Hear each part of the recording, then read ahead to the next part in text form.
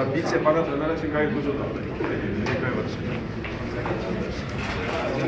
Panie, prez- panie prezesie, jeszcze przepraszam, że nie do mnie. Panie prezesie, Kuleszu. Zaaperowany.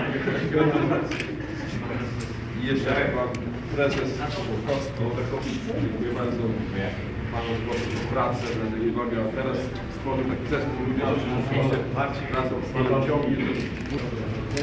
Moi drodzy, e, przychodzą do Jagiellonii półtora roku temu, e, wiedząc, że na tym pucharze są e, wypisane, wygrawerowane nazwy klubów, które zdobyły ten puchar. Marzyło mi się wówczas, żeby także znalazła się nazwa Jagiellonii. Dzisiaj stało się to e, faktem, odebraliśmy puchar, wygraliśmy go. Duża zasługa moich kolegów, e, bardzo dziękuję sztabu szkoleniowego, no, ale także Państwa tutaj zgromadzonego, działaczy klubu oraz e, ludzi miasta, którzy nas wspierali od początku do końca. My również dziękujemy Wam za zaufanie i prosimy o więcej. Pewnie się oni pokazali charakter w tym całym sezonie.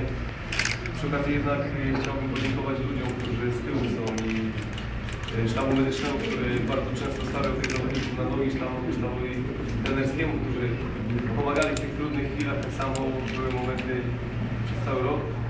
Ludziom wszystkim, którzy są y, w Białymstoku, którzy jak tutaj przychodziłem, to poznałem jaki potencjał to może być piłkarski i w szczególności cieszę się, że udało nam się e, zrobić ten pierwszy krok, a wiadomo jak to w życiu jest, jak się zdobywa pierwszy puchar, to następny jest zdecydowanie łatwiej i oby to był taki, taka droga do tego, żeby zbudować silny zespół i tutaj przy okazji wszystkim ludziom w Białymstoku chciałbym, żeby nie zostało tak, że jest to jeden puchar i zostanie wszystko tak jak było, tylko żebyśmy właśnie rozwijali się, żebyśmy stworzyli wspaniałą młodzież i żebyśmy krok po kroku budowali silną Jagiellonię.